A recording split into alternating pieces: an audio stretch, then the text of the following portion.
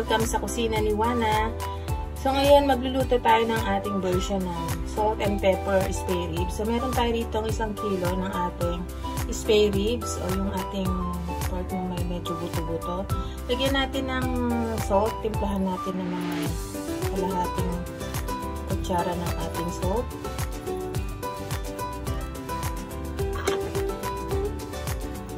Timplahan din natin ng konting-konti lang ng ating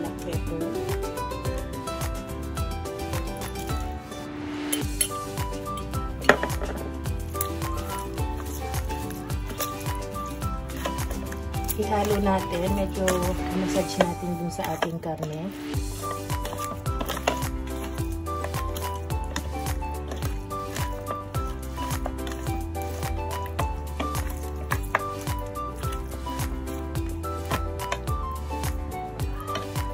Set aside muna natin. Balikan natin mamaya. Sa ating kasirola, nagpakulo tayo ng 1 and 1 4 na cup ng ating tubig. So, yung kaninang sinet aside natin ating pork, ihulog natin, pakukuluan muna natin.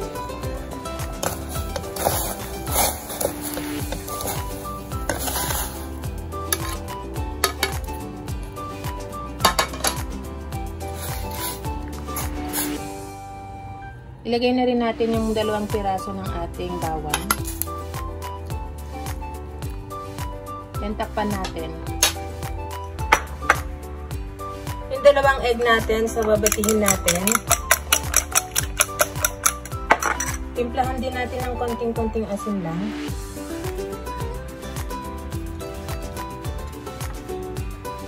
Then, konti rin ng ating black pepper.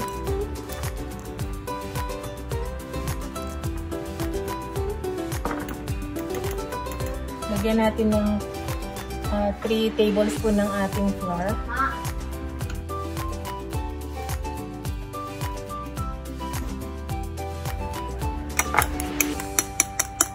So, mix natin.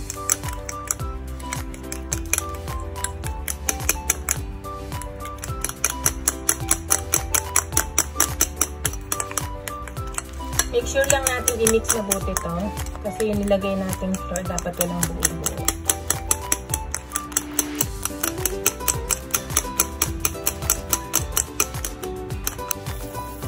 So, ito, malambot na yung ating pork. So, hahanguin natin, din isa-set aside natin. Itutuloy natin yung pagluluto mamaya.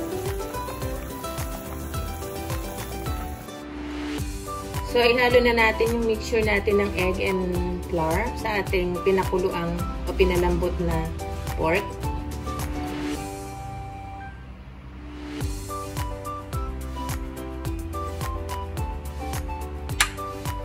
Then, haluin natin.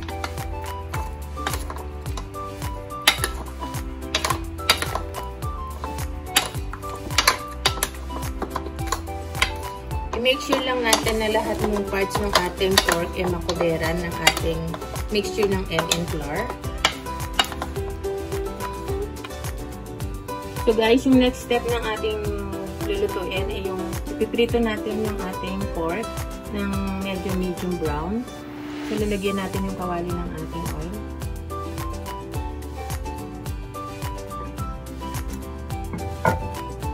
So, paiinitin lang natin, then balikan natin mamaya.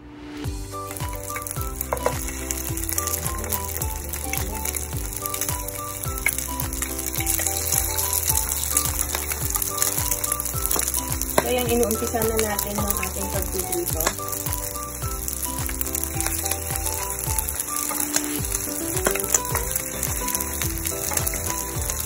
Lalagay lang natin lahat ng balikan natin naman.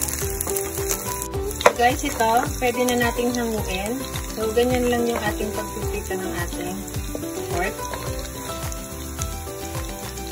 Hanguin muna natin, then iset aside natin.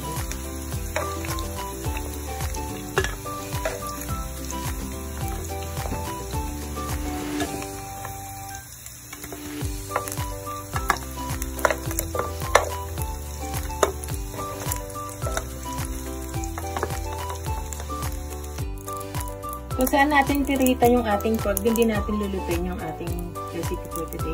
So, dito meron tayong isang buong bawang sa minced garlic na. So, na natin.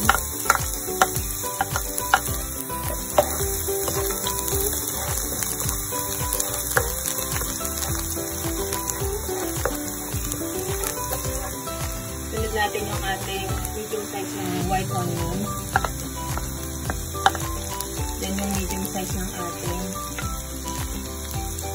Luya. So yung ating ginger.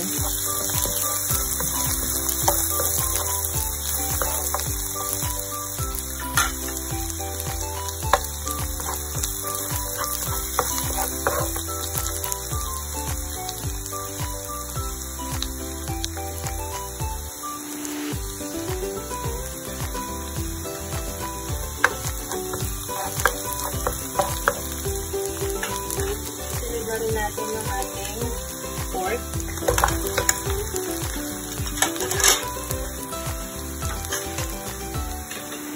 Sunod rin natin yung ating siling haba. Then yung ating red chili. Ito yung maahang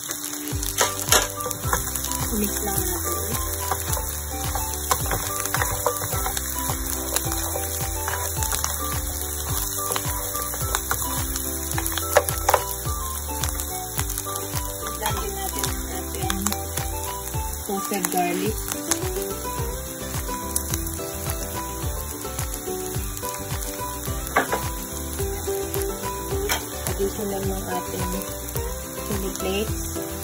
Mga 1-4 teaspoon ng ating chili flakes.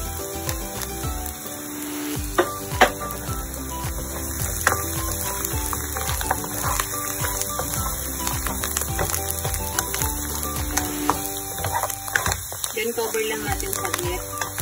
Sunod natin iba. So guys, buburan pa rin natin isang kutsarang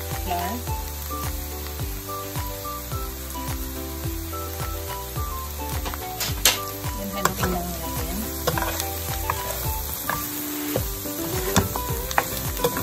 Tikman nyo kung kulang pa yung lasa ng asin kanina. Kasi kanina, inuna natin yung pinakuluan namin. Lagyan natin ng asin natin yung ating mixture ng eggs and flour. May asin na din at may pepper. So, tikman nyo lang pag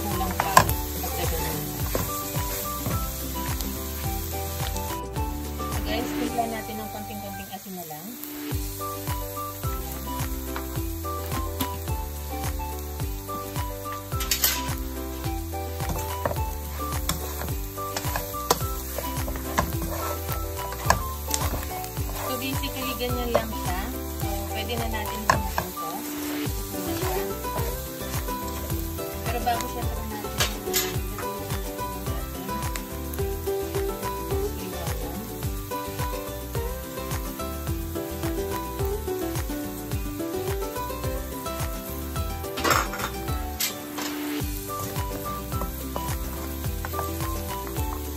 natin guys, ito yung aking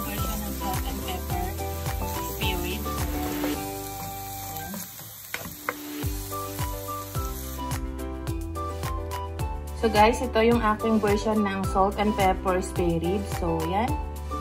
Kita nyo, masarap yan. Simpleng lutuin, madali lang naman siyang i-prepare. Pero syempre, depende kung paano mo siya gagawin. Pero ako, ito kasi yung version ko. Sa lahat ng aking mga subscribers, thank you very much sa panonood ng mga videos ko. Sana huwag kayo magsasawang support sa akin. Thank you very much for watching. Till next video. Bye!